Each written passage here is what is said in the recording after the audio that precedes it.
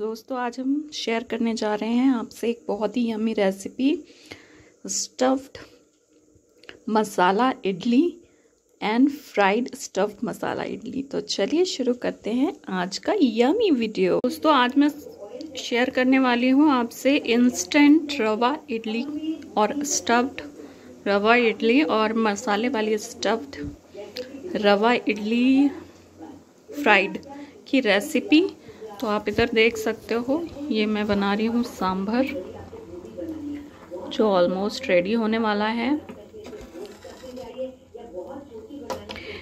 सांभर की रेसिपी तो आप सबको मालूम ही होगी वेजीज डालनी है आपको, दालें भिगो के रख देनी है और फिर एक बॉईल देना है और बस अब ये सारे मसाले इसमें अच्छे से मिक्स हो जाएँ, तब तक हम इसे कुक करेंगे और ये रही मेरी स्टफ्ड मसाला इडली जो कि बहुत ही यमी दिख रही है और साथ में इसके चलेंगी दो चटनी। तो ये रेसिपी मैं बता रही हूँ, नारियल की चटनी की। अगर आपके पास फ्रेश नारियल नहीं है और आपके पास करी लीव्स नहीं है तो कोई परेशानी वाली बात नहीं है। आप इस तरह से भी बना सकते हैं और इसका टेस्ट भी बहुत यमी होता है। तो कैसे बनाएँगे आप?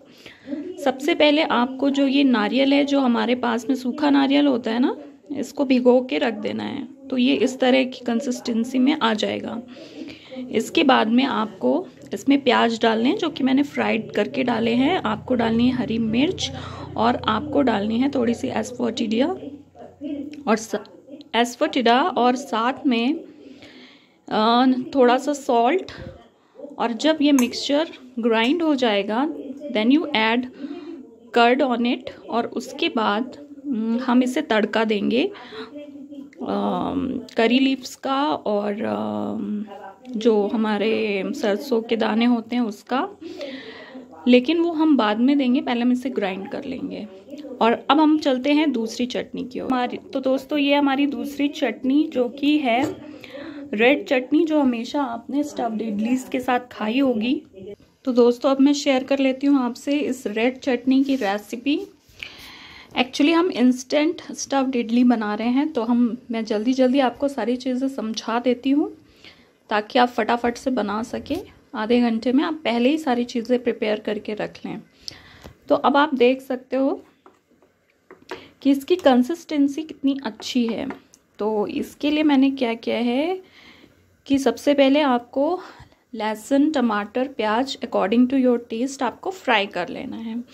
उसके बाद में आपको इसमें करी लीव्स डालने हैं और इसको ग्राइंड कर लेना है। ग्राइंड करने के बाद बस तड़का देना रह गया है। आपको थोड़ी सी चने की दाल को मतलब थोड़ा सा फ्राई करके डालना पड़ेगा। अगर नहीं है तो आप उन्हें हुए चने यूज़ कर सकते हैं। ये था आज का टिप तो अब ये चटनी रेडी है बिल्कुल और अब हम जा रहे हैं अपनी स्टफ्ड इडली बनाने तो आइए उसका प्रोसेस देख लेते हैं। इससे पहले कि हम अपनी स्टफ्ड इडली बनाएँ तो सर, पहले हम अपना मैं जल्दी जल्दी बता रही हूँ ना आपको तो इससे पहले अपना सांभर चेक कर लेते हैं कि इसकी कंसिस्टेंसी कैसी है। बहुत ज़्यादा ये थिक नहीं होना चाहिए तो मैं इसको थोड़ा सा थिक और करूँगी। बाकी तो ये काफ़ी यमी दिख रहा है मुझे। तो चलिए, सबसे पहले आपको बर्तन रेडी कर लेना है। आपको इसमें पानी बॉइलिंग के लिए रखना है। और वैसे मेरे पास पूरा इडली स्टैंड है बट क्योंकि मैं दो लोगों के लिए बना रही हूँ तो मैं इस तरह से इसको सेटअप करके रखा है। तो आप देख सकते हो कि अब इस इडली स्टैंड को सबसे पहले हमें ऑयलिंग करनी होगी, जो कि आप जानते हैं, एक ज़रूरी प्रोसेस है। आप ऑलिव ऑयल भी यूज़ कर सकते हो कोकोनट ऑयल भी यूज़ कर सकते हो और ये मस्टर्ड ऑयल भी यूज़ कर सकते हो। उसके बाद हम इसमें डालेंगे बैटर और बैटर को हम हल्का सा इस कंसिस्टेंसी का रखेंगे। आप देख पा रहे होंगे। ना पतला इसको रिबन कंसिस्टेंसी कहते हैं और ना ही बहुत ज़्यादा गाढ़ा। अब पहले हम थोड़ा थोड़ा अमाउंट डालेंगे इसमें।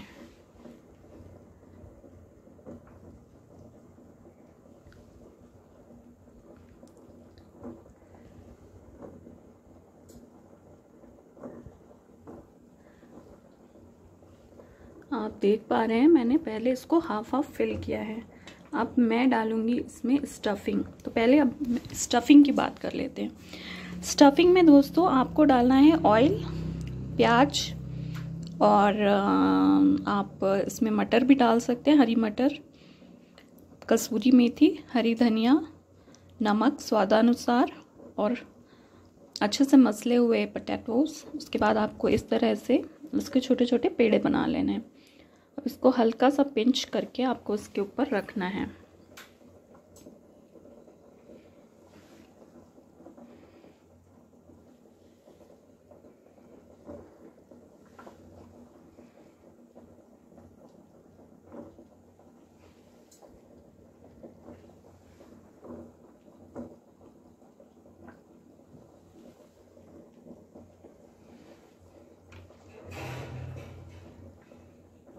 और अब हम इसे कवर कर देंगे।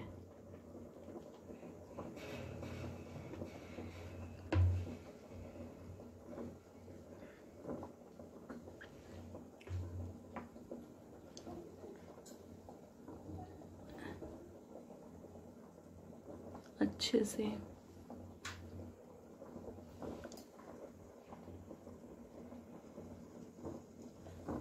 तो अब ये चारों कवर हो गए हैं। अब हम इसको 10 मिनट तक पकने देंगे और फिर हम इसे निकाल लेंगे और निकाल लेंगे। उससे पहले हम चेक कर लेते हैं अपना सांभर। हम्म, अब इसकी कंसिस्टेंसी काफ़ी सही लग रही है। तो अब बस तड़की की ज़रूरत है। तो दोस्तों 10 मिनट हो चुके हैं। अब आप देख सकते हो मेरी रवा इडली बिल्कुल रेडी है खाने के लिए। ये है फ्राइड और ये हैं बिना फ्राइड और दोनों ही बहुत सुपर टेस्टी और यमी हैं। तो कैसा लगा आपको video? Let me in the comment section तब तक के लिए बाय